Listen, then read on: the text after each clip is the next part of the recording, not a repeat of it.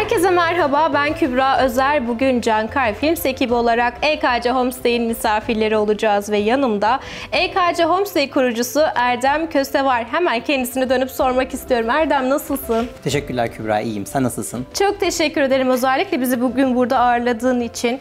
Bize biraz kendinden bahseder misin? Erdem Köse kimdir? Öncelikle buraya kadar geldiğiniz için ben teşekkür ederim. Erdem Köse, Mersin 96 doğumlu. Mersin'in bir beldesinde, köyünde doğmuş, büyümüş. 17 yaşında da iyi bir lise eğitimi aldıktan sonra Mersin'de Kanada'ya gelmiş bir vatandaş. Kanada'ya gelme fikri nasıl oluştu sende? Kanada'ya gelme fikri tamamen benim fikrimdi. Mersin'de bizim çok iyi bir durumumuz yoktu. Ailemin de bana verebilecek maddi bir durumu olmadığından ötürü her şeyi benim kendim karşılamam gerekiyordu. O yüzden ön bir araştırma yapmıştım coğrafya öğretmenimle beraber. Ee, coğrafya öğretmenim bana Erdem sen Kanada'da mı yaşamak istiyorsun dedi.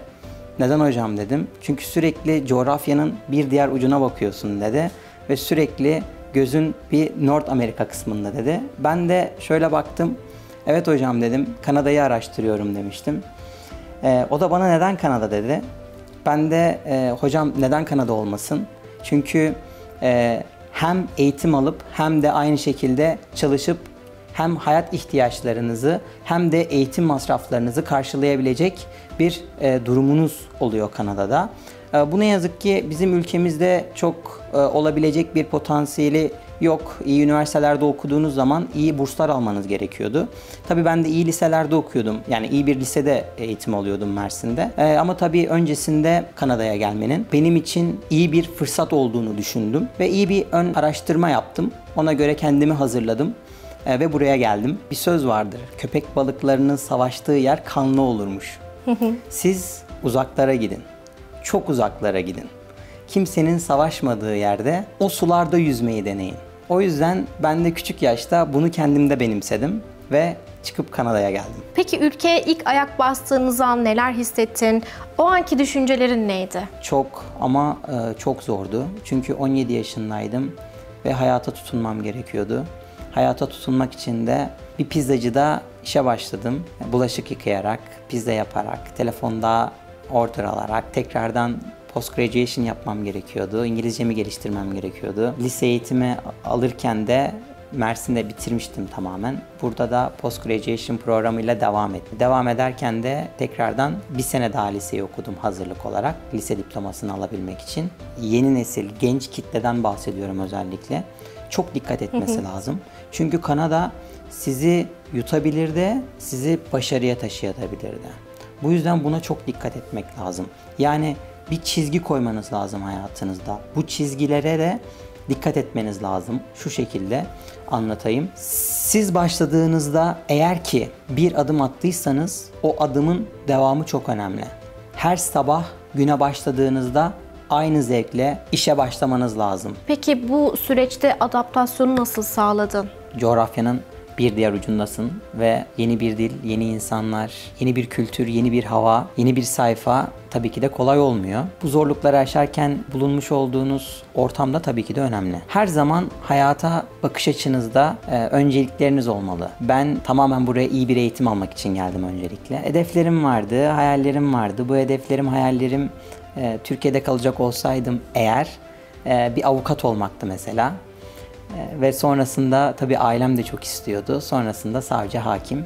Ama ben buraya geldiğimde Seneca Koleji'ne gittim ilk başta. Seneca Koleji'nde bir paralegal eğitimi aldım.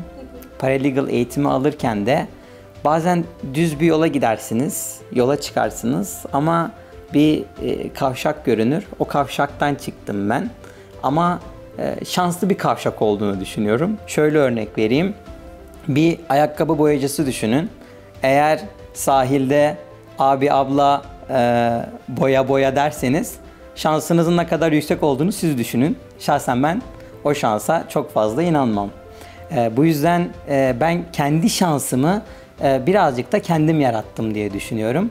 Burada hizmet sektörüne girerken kendi bazı hedeflerimden ve hayallerimden caydım diyeyim. Ama büyük bir şans gelerek. Hizmet sektöründe büyük bir açık gördüm ve rekabetin az olduğunu gördüm. Açığı gördükten sonra iyi bir ekip kurdum. Öncelikle ekibime güvendim. Önce güveneceksiniz ki onlar size güvensin. Peki hazır mısın zor soruya? Sor gelsin Kübra. Hayatta başarılı olmak senin için ne anlam ifade ediyor? Hayatta başarılı olmak amatör zevkle profesyonel çalışmak çok önemli. Profesyonel olarak da amatör zevkle çalışmak çok önemli. Ben ikisini ayırmayı bildim ve başarılı olmak için de her zaman bu yöntemi kullandım. Şu anda da bu yöntemle devam ediyorum. Bir söz vardır. Bir psikoloğun gizli defteri diye. Hastası sürekli ziyaretine gidiyormuş. Hocam demiş ben sürekli bir şeyleri yanlış yapıyorum ama nerede yanlış yaptığımı bilmiyorum demiş. Doktor da hocası da demiş ki belki yanlış durakta duruyorsundur. Doğru durağa geç demiş. Ben de eğer ki yanlış bir şeyler yaptığımda eğer ki doğru yola geçmiyorsam önce bir kendimi sorgularım. Nerede başarısız oldum derim ve doğru durağa geçmek için çaba sarf ederim. Hazreti Mevlana'nın da çok önemli bir sözü vardır. Ben olduğum dediğin an e, bittiğin andır. Bu yüzden ben hiçbir zaman oldum, bildim, öğrendim e, değil de hayata her gün sabah uyandığımda bakış açımı hiçbir zaman değiştirmedim. Aynı motivasyonla uyanmaya çalışıyorum.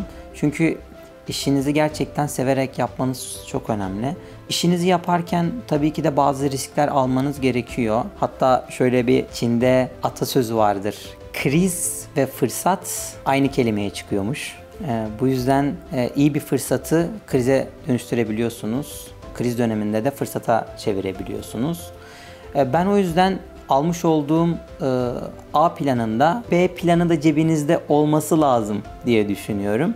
Merak ediyorum seni en çok etkileyen olay neydi? Aslında beni etkileyen olaylardan birisi işime başlarkenki sürecim olmuştu. Ben de tabii bir aile yanında kalıyordum. Ev sahiplerimiz odalarını kiralıyordu. Bir arkadaşımın aracılığıyla bana ulaşan bir arkadaş vardı. Bana yazdı bir odanız herhalde müsaitmiş. Ben de dedim ki "E, evet benim kaldığım evde bir oda müsait dedim. Ve ben o arkadaşımıza yardımcı oldum. O arkadaşımız o odayı tuttu ve konaklamadan yana bir sene, bir buçuk sene içerisinde sanırım herhalde 3-4 tane yer değiştirmiş ve çok sıkıntılar yaşamış. Hatta Türkiye'ye falan dönmeye karar vermişti. Konaklama sıkıntısından ötürü artık. Ve çok ciddi bir şekilde mutlu oldu. Türkiye'ye döndü. Sadece bir iki haftalık bir tatile dönmüştü. Ailesine falan anlattı. İşte bir arkadaşım aracılığıyla buldum burayı ve bana gerçekten çok yardımcı oldu diye. Annesi, babası hatta danışman firmasına bile söylemiş. Hepsi bana e, teşekkür etti. E, ve bu olay bende çok büyük bir etki yaratmıştı. Aynı Hatta zamanda motive etmiş anladığım kadarıyla. motiveden ziyade zaten aslında bir nevi başlamama da öncülük eden bir süreçti bu. Ee, Bu etkiyi hiçbir zaman unutmayacağım diyebilirim yani. Bizi bu aşamadan sonra neler bekliyor? Farklı bir sektör var mı? Burada başlarken önce e, homestay işi yapıyorduk. Sonrasında bunu geliştirdik ve şimdiki önceliğimiz öğrenci evlerinden ve e, rezidanslarından sonra e, büyük konut projelerimiz olacak. Bu konut projeleri için de e, bizim bir zamana ihtiyacımız var. Çünkü biz hiçbir zaman bir yatırımcıyla e, iş yapmadık. Hep kendi sermayemizi kendimiz yarattık. E, bu yüzden bu sermaye bir biriktiğinde e, bu hedeflerimize ulaşmak için bu konut projelerimizi de inşa edeceğiz. Başarıların devamını diliyoruz Erdem. Aslında programımızın da sonuna gelmiş olduk. Son olarak eklemek istediğin neler var? Ben de size teşekkür etmek istiyorum. Can Kar Films ve sizin de başarılarınızın devamını diliyorum Kübra. Şimdi size öyle kolay kolay göndermek olmaz. O yüzden ben de size bir etrafı gezdireyim. Bakalım beğenecek misin buraları? Büyük bir keyifle.